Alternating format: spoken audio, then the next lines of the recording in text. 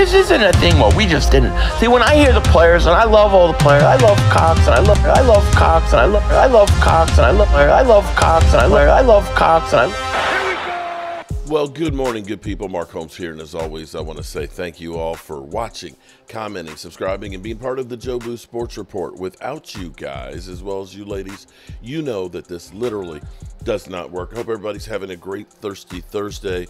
This is surprisingly enough, it is Super Bowl week, and it seems like we have not even been talking about the Super Bowl. I think that this is Jerry Jones' master plan where he definitely does not want the San Francisco 49ers to be able to get all that shine and stuff.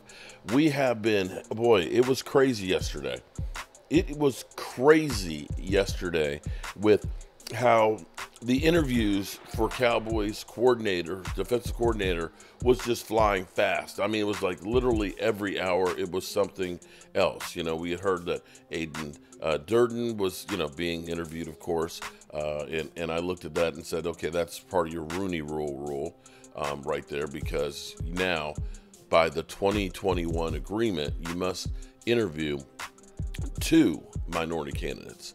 And back to that whole situation here, when a minority candidate becomes uh, a coordinator, or excuse me, not a coordinator, uh, a head coach, you or a GM, you end up getting compensation. The San Francisco 49ers, apparently the owners are looking at the San Francisco 49ers that have been promoting um, so many candidates that have become GMs or coaches that they're getting number third round draft picks that some people are like, hey, wait a minute, what's going on here? The 49ers get an unfair advantage there because they're hiring, you know, all their minority candidates are getting hired. Well, if you want to uh, reap those, then you need to get guys that can coach well that other people want. So don't be mad at the player, be mad at the game. Um, but be that as it may, the Cowboys had Aden Durden, and last night we had heard about uh, the Jets' uh, safety coach was also being interviewed. I hate to say that, but those guys are being interviewed because of the Rooney Rule. So I believe that Mike Zimmer is the leader in the clubhouse because of the familiarity with the Joneses, uh, because of his fiery personality, because he's worked with the Joneses with multiple different coaches, where one coach comes, another one coach comes, another one coach comes, that the Joneses like a known quantity. So they want to get somebody that they know that they can control and will do what they want them to do. I was intrigued and surprised about the Rex Ryan being brought in because Rex Ryan hasn't been a head coach since 2016. I um, kind of poo pooed that, and somebody actually sent me, let me pull up the email sent me an email and said, you know, Mark, you're wrong about Rex Ryan. Um, I'm not going to say that Rex Ryan has forgot how to coach. I'm not going to say that at all. The thing I will say is, um, he hasn't he hasn't coached since 2016. Let me say, 2016 was when I had my first thousand subscribers. And if you could go back and look at some of the videos of where I was in 2016 and see how much I have personally evolved here on YouTube from literally sitting in front of a TV with my cell phone recording that to what I'm able to do now with my studio and stuff where I can literally. Oh, I say it, I say it again. You've been had. You've been took. You've been hoodwinked, bamboozled, run amok. This is what he does. To think of how much has changed in YouTube alone in 2016. It was basically me, Vosh, and um, Law Nation were about the, the, the YouTubers that were, you know, live streaming. Nobody really live streamed much. It was new and everything else. But you see how much has changed in that eight years. Now, there's a lot of people out here on YouTube, and everybody live streams everywhere all day and everything else. You can't help but trip over a live stream these days talking about the Dallas Cowboys.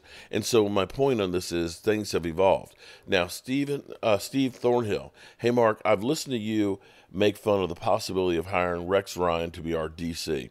Have you actually went and looked at Rex Ryan productivity as a DC? I don't think you have. You're shooting from the hip on the on this, bro, and you're way off base. Take a moment and look at Rex Ryan's defense. I'll guarantee you, you won't be able to understand his defense. I've listened to many players who have studied his defenses and they can't figure them out. So why would you be so quick to make fun of Rex Ryan? If players who have played in the NFL and have played against his defense couldn't figure out his defense, um, I get you. I get it. You're a Jerry Jones and Stephen Jones hater here, and um, every day on an everyday basis. But maybe do a little homework before you bash Jerry for looking into a coach that happens to be a good defensive coordinator. That's all shout out to Steve uh, Thornhill. I appreciate the comments and stuff. And I'm not. Here's my thing. Again, I'm not bashing him as an ability to be a coach. I'm not. I'm just saying that things evolved. Um, Jon Gruden was a really good coach with Tampa Bay. Not a great team builder. He basically took the team that Tony Dungy built and took them to the Super Bowl. But he was good with the X's and O's. When he came back, not the same guy. That's my only thing is eight years. Eight years, a lot of things change. The players change. The the game changes. And so what you may have been doing before may not work. But here's actually the real question that you actually have to ask. As we look through with all of these elder statesmen coaches, because let's be clear here. I don't think it's going to be Rex Ryan. I definitely don't think it's going to be Ron Rivera. And as I look at Ron Rivera, you know, Ron, uh, say, let's take the 22 season. Ron Rivera had some studs on his defense. They got my guy uh, John Ridgeway on there. They had like Jonathan Allen. They had Montez Sweat. They ended up having Chase Young. And they were a good defense, but you start thinking about the players that they had on the defense, that defense should have been exceptional. But again, I'm not trying to say that Ron Rivera is a bad coach, but I look at the body of work as him as a head coach. You know, we probably said the same thing about Dan Quinn when we was hired, and we looked at having Mike Nolan, who came in, who was another former coach, and was a complete just waste of time. Dan Quinn came in. Nobody was excited about Dan Quinn. Dan Quinn did some really good things. But the real question you have to ask the real question is not necessarily just the guy who's calling the defense. Because if you give a coach the players, for example, Norv Turner was a great coach. But when you had the Great Wall of Dallas, when you had one of the most accurate quarterbacks in the history of football in Troy Aikman, when you had the all time leading running back, okay? All time leading running back, who usually didn't get touched till he was four yards down the field. When you had a Hall of Fame wide receiver in Michael Irvin and a great tight end that was known as a security blanket in Jay Novacek, and had great role players like Alvin Harper, you can look like a genius with just about anything that you called the teams couldn't stop you from running the football. They're putting eight men in the box. If you've got a receiver that's a playmaker like that, and he's getting one on one coverage outside with a quarterback who's accurate, you look like a genius all the time because you've got the personnel. Now, when you don't have all those players, you can look pretty stupid real quick. So the question now begs as the Cowboys in free agency have their second leading sacker in um, their second leading sacker as a free agent, their third leading sacker as a free agent, as their best cornerback after Diggs got hurt as a free agent, not having any true linebackers, it may not matter who's the defensive coordinator unless they address that. You either need to keep Dante Fowler or replace him. You need to either keep um, Stephon Gilmore or replace him. You're going to need to replace or keep Neville Gallimore. You're going to need to keep or replace most of your defense. And if you are not willing to put the assets out there to be a run stopping defense, which is getting a linebacker that is a true thud linebacker, thumping linebacker, it's not going to matter which one of these guys you bring in.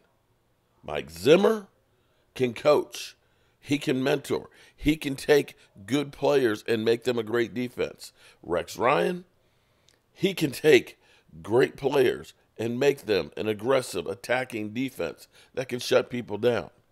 Ron Rivera, you give him the players, he can do the same thing. The big question is not who is the defensive coordinator, but what are you going to do to provide them with the players? It's the bottom line. Now, today it's Thursday again. I'm sure the Cowboys are going to keep everything up hot and heavy because they, of course, want to stay in the news and stay relevant because that's what Jerry Jones does. And this is really not even really relevant that much anymore because, heck, we've already moved on from uh, Rex Ryan and, and, Mike Zimmer. Mike Zimmer is actually on the uh, back burner right now. It is pretty impressive. Mike McCarthy still filling out his staff in Dallas. Adam Schefter, what do we know about his search for a new defensive coordinator?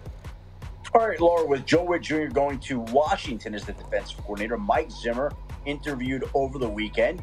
Ron Rivera, the former Commanders head coach, also was talking to the Cowboys about that job. When you talk about Mike Zimmer, he spent so much time in the Cowboys organization. They know him so well, and he's got the support of so many key people like a Deion Sanders who want to make it happen. And so, again, it wouldn't be a surprise if he wound up being the pick. Marcus, if you had your choice of all the available guys out there, who do you want as the next DC in Dallas? Jesus. It would be Wink Martindale for me. Um, I think there needs to be an aggressive style of play in Dallas, and I love what Wink does. And now a lot of people are super cautious about how much he pressures the quarterback, how much he brings blitzes. But Wink has shown that not only during a tumultuous season at times, he can still galvanize a defense to play well enough to keep them in games and actually win and close out some games. But more importantly, I know him personally. I know how guys respond to what Wink Martindale is is giving them because he lives what he's saying. I think there needs to be a clear message, but also needs to I think there needs to be a guy that comes into the building that can get these guys moving forward and motivated with a di- little different personality, and that hmm. personality is aggressiveness. Yeah, uh, Wink blitz on 43% of dropbacks in the last two seasons. That's the highest rate in the NFL. He's bringing it. All right, let's get to some more top stories with Adam, starting with some scheduling news for week one. What do we need to know? All right. So well, there, you, there, with Joe Richard. There you, there you have it. So that's the latest as of yesterday morning. And of course, it really, really grew. I don't know. I, I'm curious. Who do you want to see as the Dallas Cowboys defensive coordinator? I'm, I'm i just want to know. I'm asking for a friend because it's kind of cray cray how this is just going through, and it's just like we're just throwing names after names after names. But again, it doesn't matter who you bring in if you don't bring in the players to go along with it. All right, good people. Hope you're having a great day, and I will see you soon. Peace.